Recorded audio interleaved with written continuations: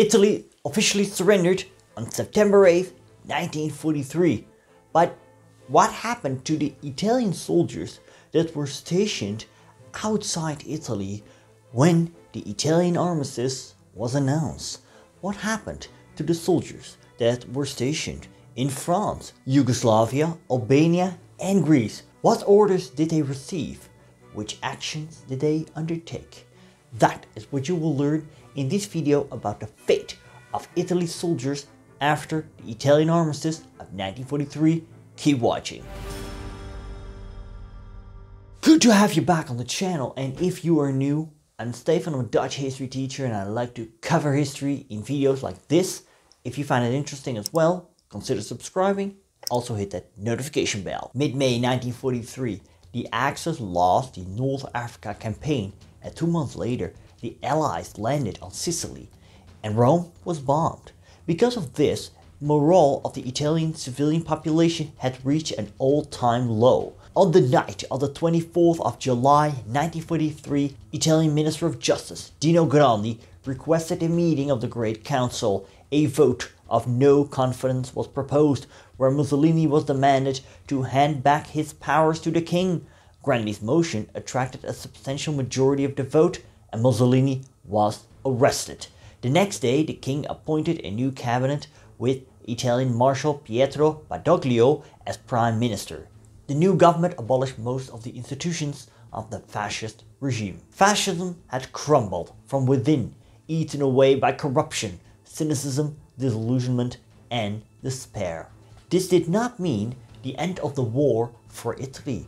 Heck, it didn't even mean the end of the Italo-German Pact of Steel, as Badoglio reassured the Germans that Italy would fight on the side of Germany. However, in secret, Badoglio negotiated with the Allies, and on the 3rd of September they came to an agreement. This armistice was announced on September 8th. Right after that, the Italian king, government, and supreme command left Rome and made it to the Allied lines further south. But therefore the Italian soldiers abroad were left to their own devices. The Germans had seen this coming and they executed a contingency plan long prepared known as Operation Achse or Operation Axis. In this video we're going to discuss what happened to the Italian soldiers stationed abroad when the Italian armistice on September 8th was announced. Just to be clear, we're talking about men under arms. The North Africa campaign was over and sure, there may have been Italian POWs still holding up in North Africa. The same goes for the USSR where tens of thousands of Italians were taken prisoner by the Red Army. Italian participation on the Eastern Front ended early 1943 once the Italian 8th Army got routed by the advancing Soviets. The remaining troops were pulled off the front by Mussolini. When Italy surrendered in September 1943, Italian soldiers abroad under arms were stationed in Greece Albania, Yugoslavia, and France. By that time, unified Italian command had ceased to exist. So what we see happening to these soldiers stationed abroad is a variety of things we're going to discuss in this episode. Let's start with Greece. Greece was occupied by Germany, Italy, and Bulgaria after the April 1941 campaign was over. In October 1940, Mussolini had invaded Greece from Italian-occupied Albania. This campaign became a disaster as the Greek army drove the Italians back into Albania. The Germans came to Italy's aid and conquered Greece quickly. Greece was then partitioned and the Italians occupied the bulk of mainland Greece with 93,000 troops and the most of the islands with 70,000 troops. During the occupation, they did try to alleviate the Greek famine, which wasn't successful, and carried out reprisals such as the Domenikon massacre. Italian discipline proved bad as time progressed. Italian soldiers often got drunk and by 1943 some of them were chanting down with Mussolini, down with Hitler and down with the war. Relations with their fellow Axis soldiers weren't good either. Often there were bar brawls between German and Italian soldiers and sometimes even a shootout. The Italians were not very willing to take on the Greek resistance. And as the fetus moved in Rome increased, so it did in the Italian occupied territories. On the 20th of May, Hitler ordered plans to be drawn up for a German takeover in the Balkans if Italy wanted to sue for peace. When Mussolini was toppled in a palace coup in Rome, the Germans rushed into action and German tanks rolled to the Italian HQ in Athens and General Löhr secretly ordered all German units in the Balkans to be ready to disarm the Italian forces there in an event of an Italian withdrawal from the war. Only a handful of Italian fascist supporters were dismayed by Mussolini's downfall. The others waited in suspense about what the Badoglio government would bring. On one island, the Italian soldiers were willing to surrender at the first sight and had their white flags ready. On another island, all fascist symbols disappeared in hours after the coup was announced. And when Italy's surrender was announced via the radio on the 8th of September, the Italian soldiers started to celebrate this with the Greek population, only when there were no Germans around. Athens on the morning of the 10th of September was like an endless market festival, as the Italians stripped their units of equipment and sold it on the streets. Weapons, motorbikes, bicycles, blankets and boots, furniture from offices and masses, typewriters, even the occasional car. Italian General Vecchiarelli made it clear to Army Group E commander Löhr that his troops would not fight against the Germans. Löhr made it clear that if the Italians refused either to fight as part of Army Group E or to surrender unconditionally to the Germans, Operation Axis should come into effect. Under German supervision, the Italians were disarmed. First their heavy weaponry and later their light weaponry. The Italian soldiers were then given a choice, either fight at the side of the Germans or being evacuated from Greece. Now most opted for the latter choice. However, they hoped they'd be repatriated to Italy, but instead of that, they were put on trains and deported to prison camps north. Now on several occasions, Italians did resist the efforts of Germans to disarm them. On Rhodes, there was a two-day battle before 7,000 Germans retook control and took 40,000 Italians as prisoner. The Dodecanese Islands were under Italian control since 1912 and it took the Germans over two months to capture them all. On the Ionian Islands, Italians were even joined by the Greeks to take on the Germans.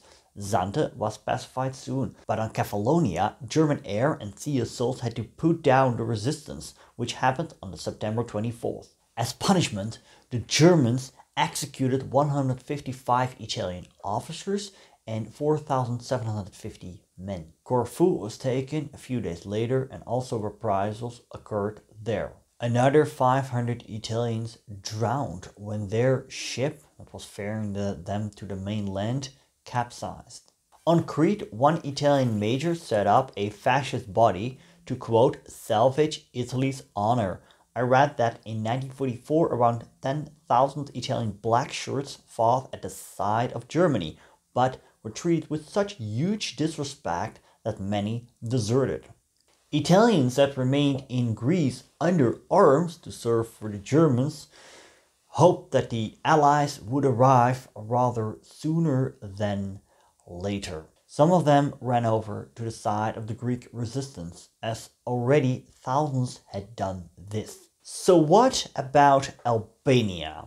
Albania was conquered by Italy actually before the Second World War broke out in April 1939. Despite some local Albanian resistance here and there, for example, as the coastal city of Durrës, the Italian troops seized control over the country quickly and King Zog fled to Greece.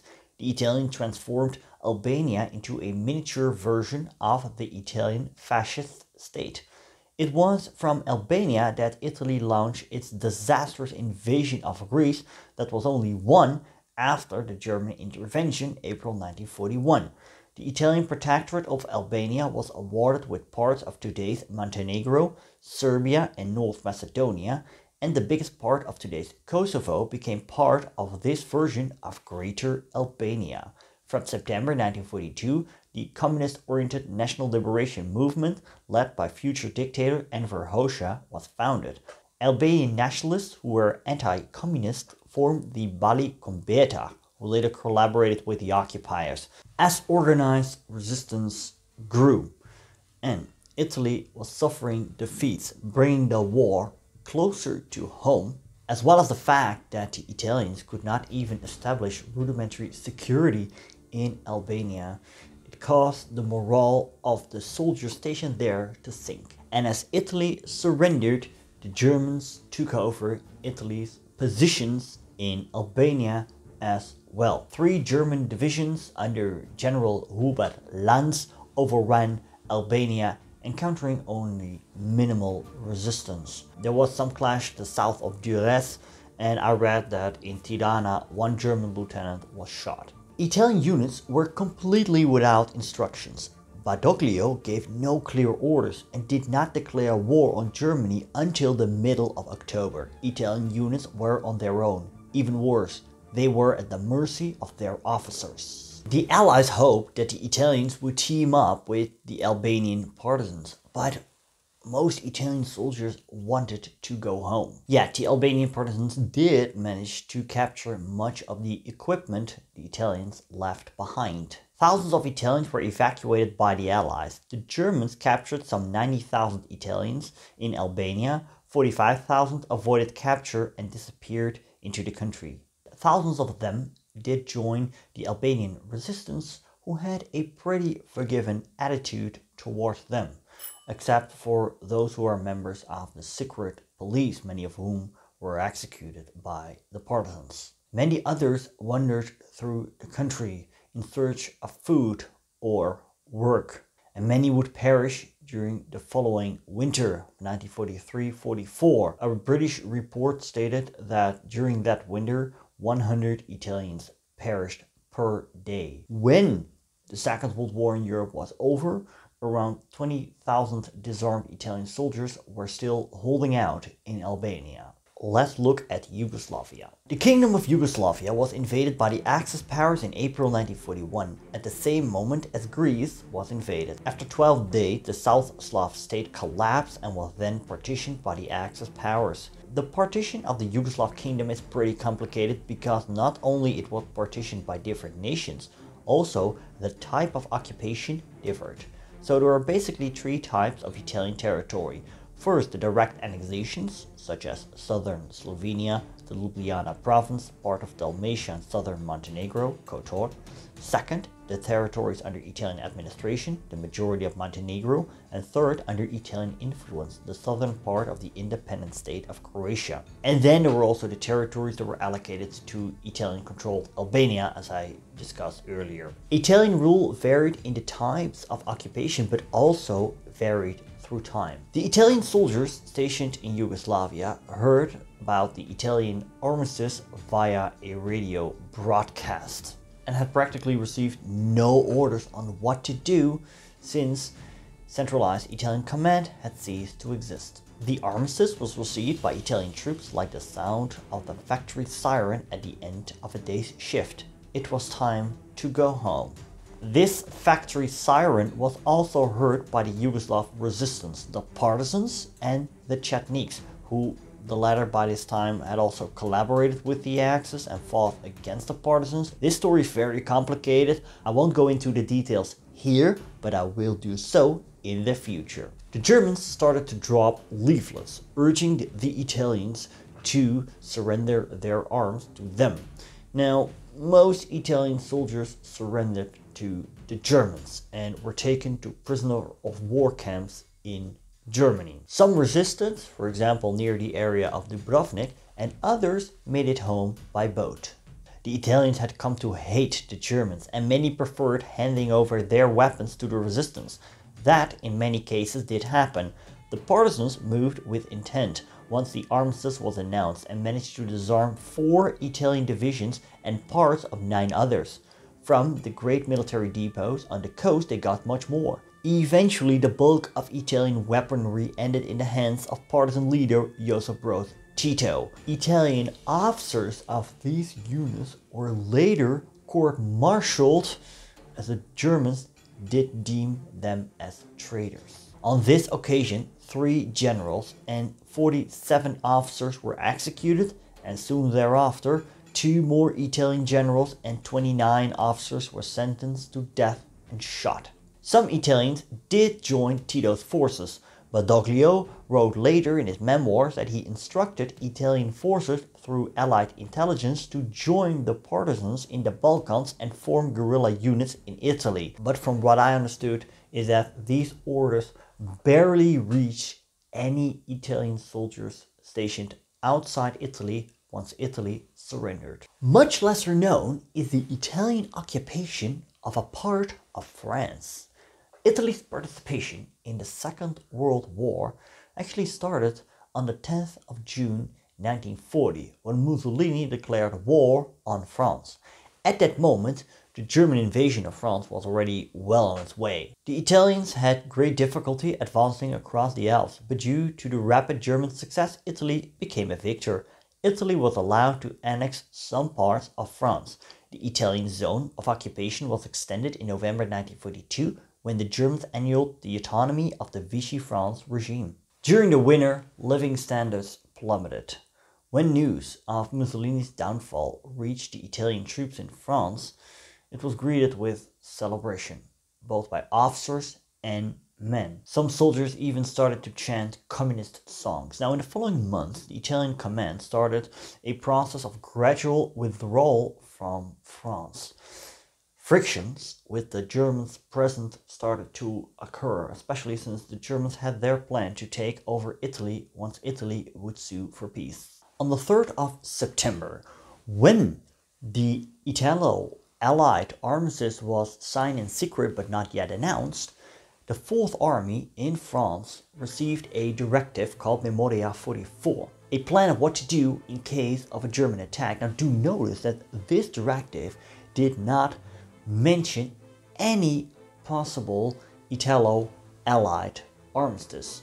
So when on September 8th the armistice was announced, the Italian soldiers in France were caught by surprise. Believe it or not, without any orders from Rome, panic set in among the soldiers scattered across the Mediterranean coastline as the Germans set in motion Operation Axis. Some Italian soldiers fled into the mountains and were hit by French civilians who were quite sympathetic to Italian police. A report made clear how many French people were moved by the Italian soldiers' condition and in a surprising shift of opinion, the very persons who had railed against them before suddenly expressed sympathy for them.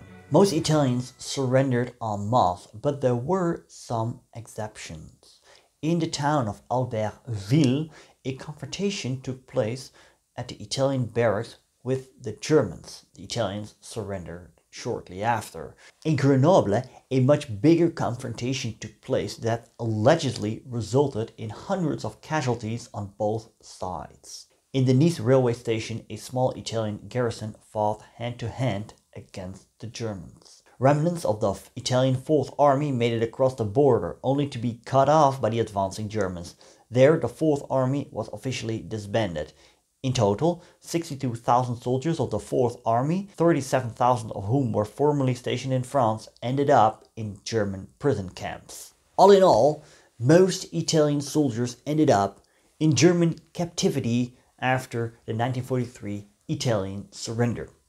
This was pretty brutal, since the Germans did not deem them as POWs, but rather as traitors, and it is something I hope to cover in the future. Now, if you have ever spoken to, or perhaps are related to someone who served in Italian uniform in World War II, I'm really curious how they experienced the Italian armistice. So please leave a comment. I'm really curious in reading that. Thanks to my patrons. You see their names on the screen right now. And a special thanks to Thomas Zabiega, Damien Wallace, Connor, Philip Jordan, Marcus Kaas, Nick Terranova, Haley, Mark Littlehale, Janusz Jojankiewicz, Joanne, Jester Tabell, Tanya Dixie, Henry Clarkson, Rob Park, Andrea Martic, Susanna Di Bella, John Beach, Fabrizio, Way Back History, Fernando Lopez Ojeda, Luis Pichera, and Mike West. If you'd like to learn how Mussolini fell from power, you can click right here. If you'd like to learn about the Italian army of the Second World War till 1943, you can click right here. Thank you so much for watching and subscribe if you have not already, and arrivederci!